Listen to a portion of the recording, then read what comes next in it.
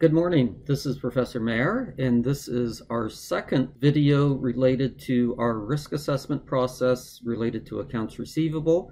If you remember, in our first session, we took a look at two files, the accounts receivable data file, which is an Access database, and the customer listing, which is a text file. And we used the Excel query function to develop specific tables. Now, if you did that correctly, what you end up with is the file that you see here. I actually, I saved it as the AR project, but essentially what we have is we have two primary files. We have the customer listing, and the customer listing includes 87 customers with credit limits. If you remember, we had one credit limit related to James Bond that had no data. So we have our first finding. The other major file that we have is coming from the accounts receivable file, which is the Access database file. And what we did is we created this file and eliminated those items that were paid. We also eliminated any transactions that occurred on April 1st, 2015. This is the file that we ended up with what I ended up doing is I saved it as the AR project. What I hopefully you have done this already. Now what you notice is there's a sheet one. There's nothing on sheet one. So what I'm going to do is I'm going to delete that table. So at this point what we have is we have two separate tables. Now we're going to get into reformatting these with the query function. But the first thing that I'd like to do is to take a look at the aging of our transactions.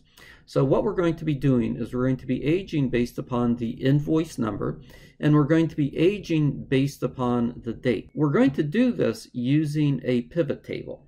So the first function that we're going to be reviewing is how we actually use a pivot table.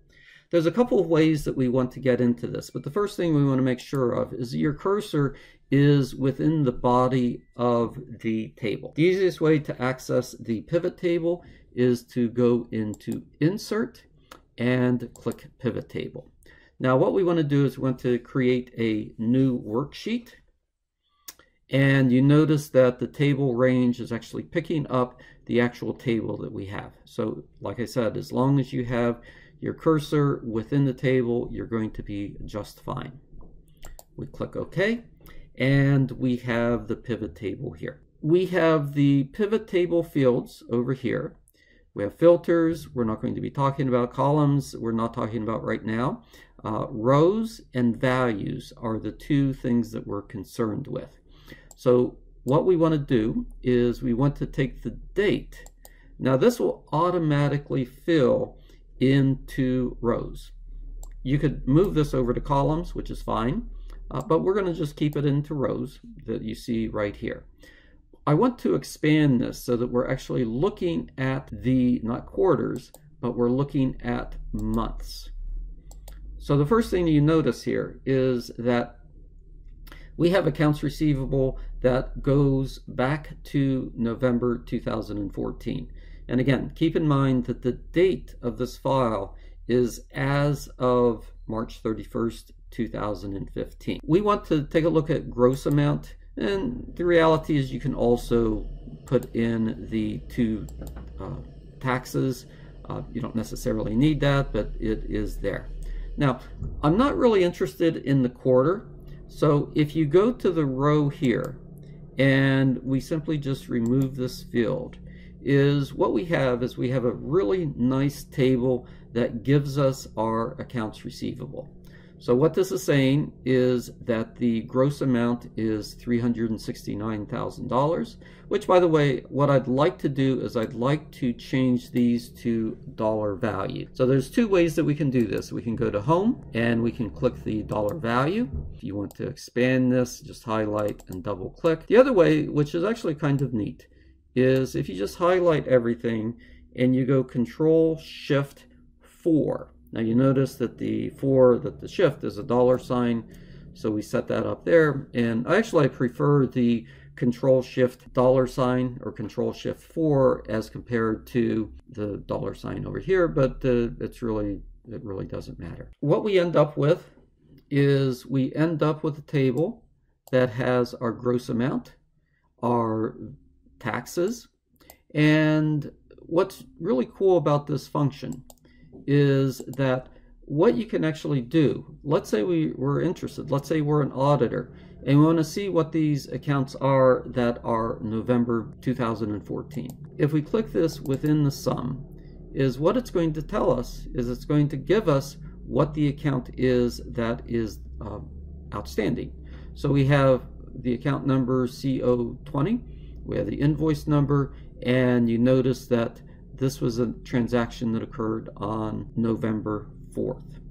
We'll go back over here, and what your assignment is going to be related to the aging report, and we're just going to take this, we're going to call this aging report.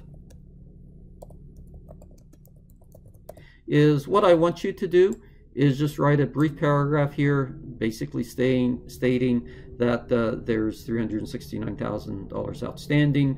There are accounts that are past due to November 2014, and uh, you want to identify what those accounts are. Now, again, why are we doing this? We are doing this in the risk assessment phase of the audit, and what we're interested in is we're interested in finding out where the risk areas, if we identify a customer that has a an account balance that goes beyond five months uh, past due, that's pretty far back. One of the issues that you have as an auditor is when you're presenting this information in the financial statements, you're presenting it as net accounts receivable. So what the organization will need to do is to need to set up an allowance for doubtful account and this is going to be part of your narrative is making sure that the organization has an allowance for doubtful account that is appropriate to the accounts receivable. That's what we're doing is we're going to be setting up a number of tables and within these tables we're very interested in making sure that you as the auditor is providing guidance to the audit director in terms of what these issues are. What we've done is we've identified the aging report and a few brief comments related to this that you can then direct to your partner or to the partner or the managing partner of this assignment is going to be very good as he or she actually then develops the audit. I'm going to just go ahead and just delete this sheet, uh, but I recommend that you actually spend a little bit of time in terms of figuring out how you can actually work through this function. So again, if you're interested in finding out what these accounts are, you just double click and you are going to find the accounts that are the aged accounts. Now, what's interesting here is the same account number is showing up as another old account uh, back to December 2014. So as an auditor, once you start exploring these things, you're going to identify issues that become essentially things that you want to look at throughout the course of the audit. We're deleting that. So essentially at this point, we have three files. The next function that I want to share with you relates to conditional formatting. We have our customer list here. And somehow we want to highlight the fact that we have one customer that doesn't have a credit limit. Part of your narrative is you're going to put together a paragraph that basically says um, through the analysis of accounts uh, of your customer listing, we identified one customer that does not have a credit limit. Well, that's a control issue. And what you need to be able to do is to articulate this to the client in terms of why the credit limit is important. You also need to be able to articulate and identify the process in terms of bringing on new customers. And I think this is part of the process that you need to be able to do as an auditor. This is part of the risk assessment that we're actually looking at. Let's go to the conditional formatting. So what I'm doing is I am highlighting the credit limit in the table again, in the Home tab, in the conditional formatting, there's a couple of cool cool features that the first thing that we want to look at is we're going to click the conditional formatting button and we want to highlight the cell that actually is blank. If we go to new rule and we're going to create the new rule that format only cell that contains. So the cell value is equal to zero. And we do the conditional formatting here. So how do we want to actually format this? And what I'd like to do is I'd like to create a border. And we're going to fill it with, let's say, whatever color that we want. Okay, we hit OK. We hit OK here. And then what we see is that there is one account, James Bond, that actually has a zero balance. That's a neat little function in terms of being able to highlight values that are problematic. What we want to do is want to create a brief narrative related to this, identify what the issues are for the customer list, identify specific steps that you need to, to go through as an auditor to make sure that the controls are in place as we are establishing our customers. What I want to do now is I want to go back to the accounts receivable file and we're going to re-look at this using the data query because what I want to be able to do is I want to sort these based upon the account numbers. So what I'm looking for are values associated with account numbers. So we have our accounts receivable file. We go to the tab that says data and we are going to look at queries. So the queries are going to show up over here. So we did two queries. We did a customer listing. You notice how that shows up. And we have the accounts receivable. We swing our cursor over here and click edit. And what do we have? But we have the query that we developed in the prior video. So you notice that what we have is we filtered the rows, we created the paid flag, we created uh, the date limit that we have eliminated from the file transactions that occurred on April 1st, 2015. Now what we want to do is we want to use the group by function. The group by function is in the home tab and we do the group by we're going to group by a more sophisticated pivot table. That's probably the best way to describe this. It creates a separate file, but it's basically the same type of thing that you would see in a pivot table, but it's a little bit more sophisticated.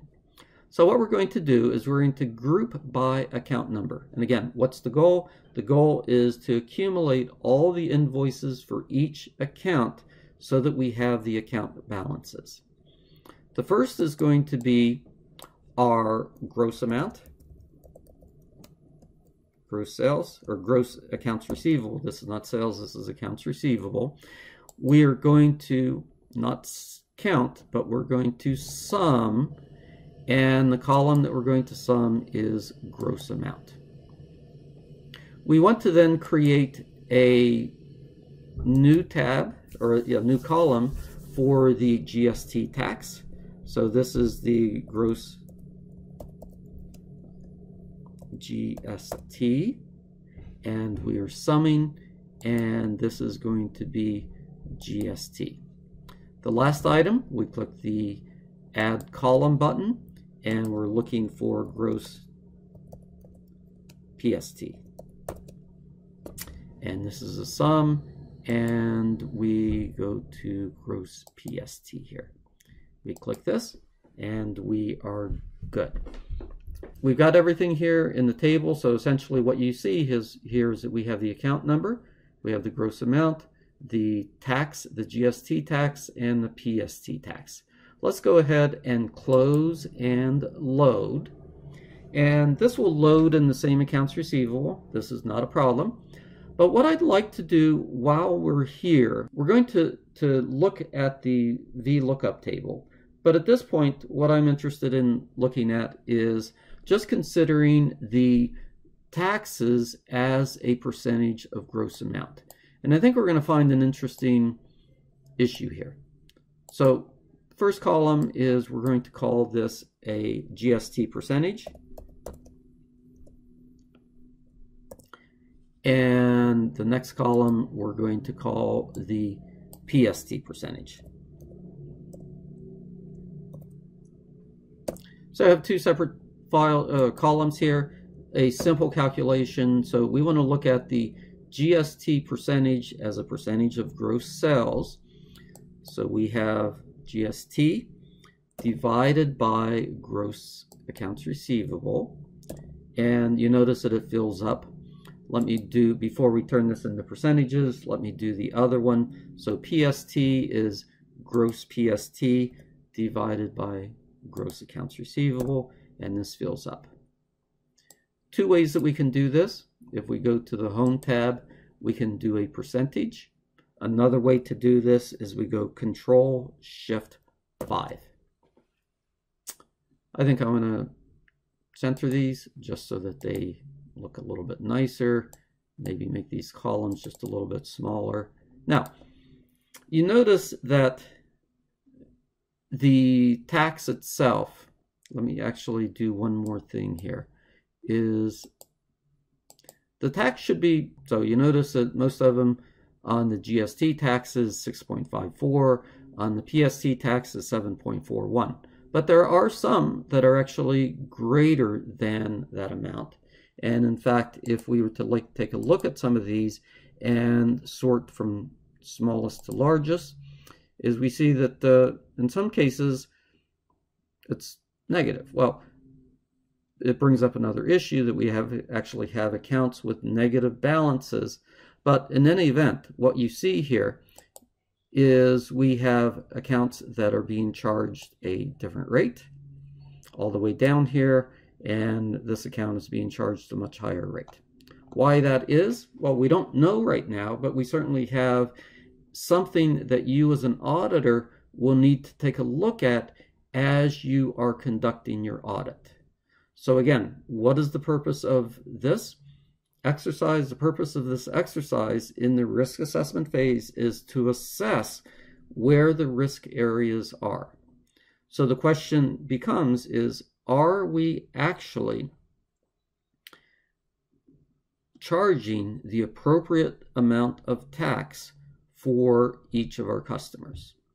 That's the question. We don't know what the answer is. We know that based upon the table that there are percentages that don't really quite add up.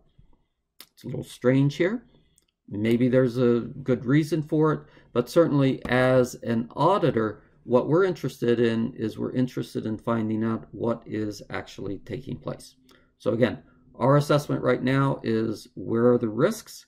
And what we see is there are certainly are risks in terms of charging tax. Now, let's go ahead and take a look at the gross amounts in accounts receivable. Going up here, what you see is we actually have account balances that are negative. This is another audit finding. And there certainly are legitimate reasons why there are negative balances. There also are risks that maybe suggest that maybe we're posting to the wrong account or other issues related to accounts receivable that we as an auditor need to look into. These may be totally appropriate, but in the risk assessment, what we're trying to do is we're trying to determine what are the areas that we want to look at in the course of our audit. So in the course of our audit, we're actually interested in finding out why we have negative balances. The other issue, and again, these are the things that you need to develop in your write-up. Negative balances in accounts receivable may in fact be a liability. So part of our assessment of our liabilities when we do a search for liabilities is are there negative balances in accounts receivable? Before we start talking about the VLOOKUP table, there's one other tool that I want to share with you that I think is kind of neat. And when we're looking at the sales tax, what we see here is we see some very low values. We see a, a couple of values that are actually pretty high. Well, it's not visually conducive to actually see these things. So what I would like to do is to share with you another conditional formatting tool.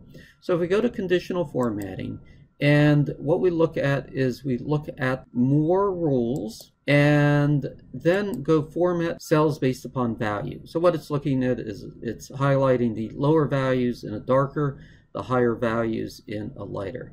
So we click this and visually what we're going to see is that the low values are highlighted in a dark, the high values are highlighted in a lighter color. You're actually able to see what's taking place, which I think is a pretty cool tool, especially as we're trying to identify things visually. Now, what I want to talk about is the VLOOKUP table.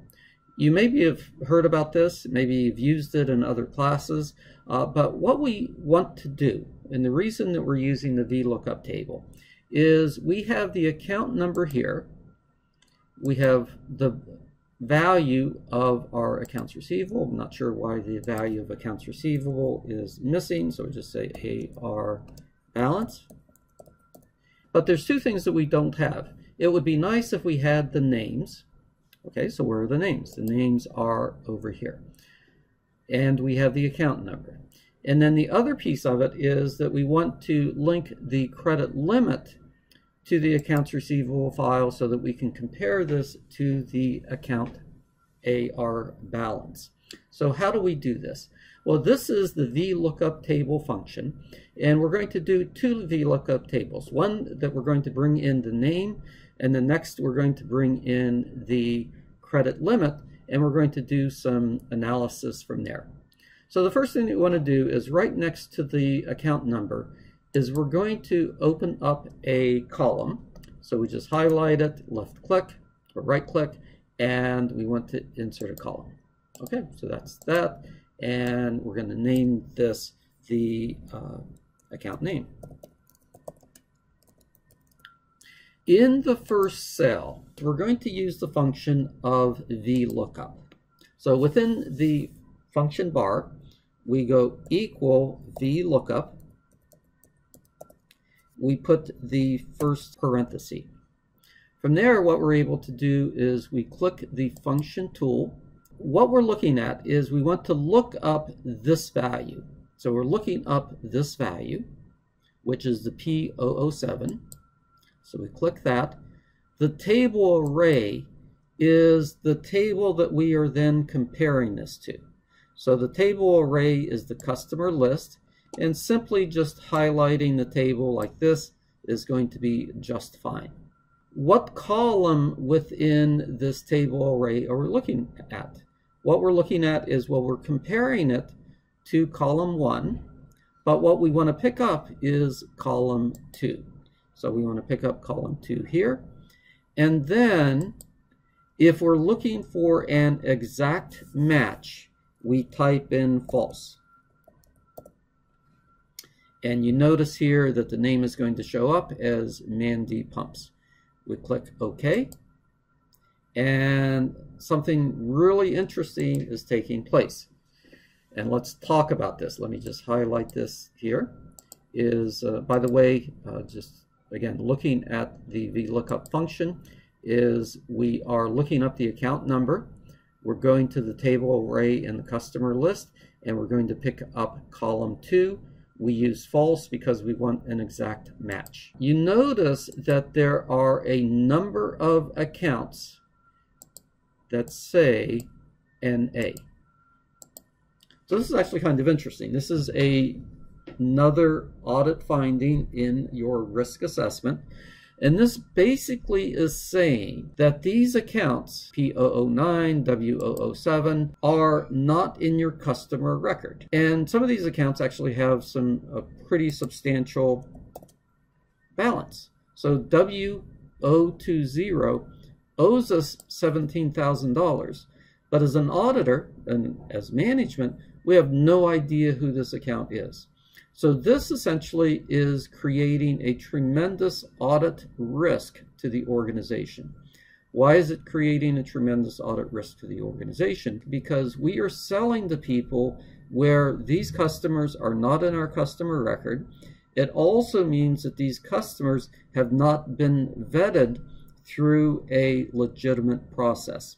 If you remember, we identified one customer that there is no credit limit. So there's a weakness in the controls related to the customer listing. So we have a number of accounts with no names.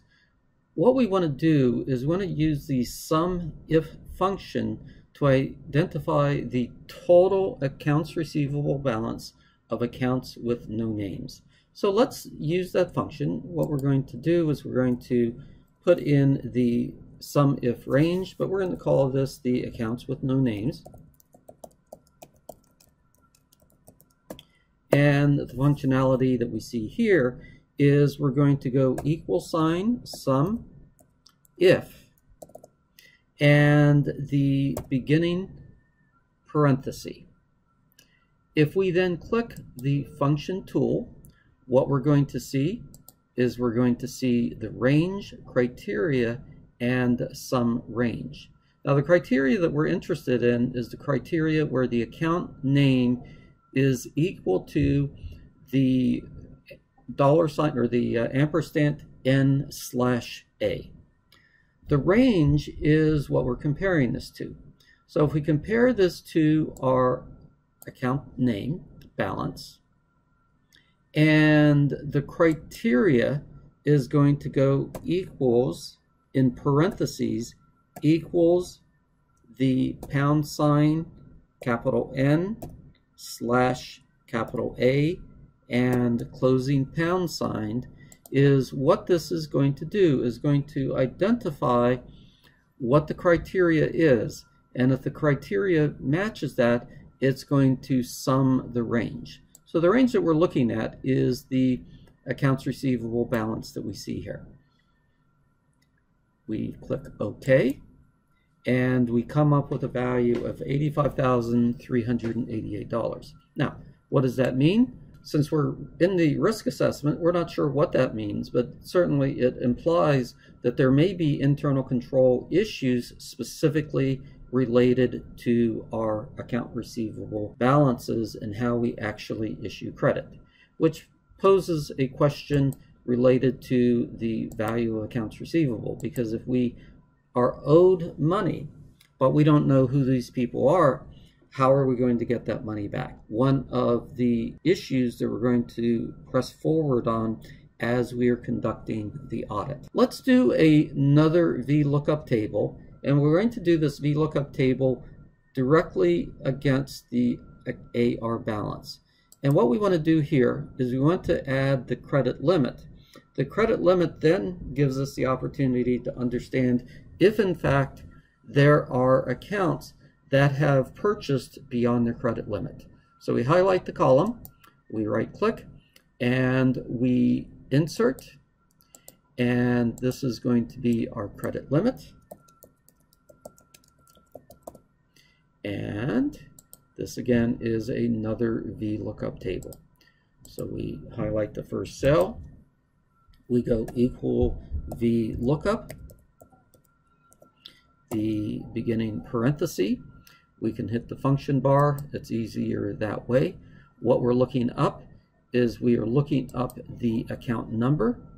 The table array of where we are comparing this to is we're comparing it to the first column in the table array. So we're picking up the table and then whatever takes place within this table is if there's a match, we're going to pick up the third column. So in this case, this is the third column. What we're looking for is the range lookup. This is going to be false. And we hit OK. And we now have our credit limits. Now, one of the first things that we want to do is for this calculation is we're not interested in accounts that are NA because they have no credit limit to begin with. But what we are interested in are these accounts where we have account names, we have account balances, and when then we have the credit limits. We're going to insert another column, and in this column is the, we're just looking at AR minus the credit limit. And essentially is we're going AR balance minus the credit limit. And we're looking for positive numbers. So we can pull this up here and we can filter is where that it is greater than, greater than and equal to is fine, but greater than zero. And then what we have is we have two accounts where there are credit balances that are greater than the credit limit. We can do another conditional formatting on this. So in this column, what we want to do is we want to set up a criteria so that we can easily identify these accounts. So we go back to our conditional formatting and we look at a new rule and the new rule is going to we're going to identify cells that contain a cell value that is greater than zero and let's do a nice pretty color in terms of the formatting. We'll do a nice blue here. We'll do a border range and we click OK. OK over here. And then what you see is that in our file is we have two accounts that are the accounts receivable balance is greater than the credit limit. So again, what we've done is we've identified a number of issues that you will need to articulate, and not in a lot of narrative, uh, but in and you can essentially embed all of your comments in the Excel database, in the Excel file. So with a customer listing, you want to make some comments here the accounts receivable, we identified a number of things that you want to talk about. You can simply just create a box and put the answers there. The aging report, we're going to need some comments in this. But essentially what we've been able to do is we've been looking at conditional formatting. We've been looking at the sum if range. We've been doing VLOOKUP tables. We've been doing pivot tables, all within this data file. And within our analysis, we've come up with a number of audit findings. So it's your goal to take this information and to put it together in terms of a, not a long report, but I want to see the Excel file. I want to see that you've actually done this correctly with, with all the tools that we've talked about. And I want you then to write a brief narrative related to each of the findings. I thank you very much, and everybody have a great day. Thank you.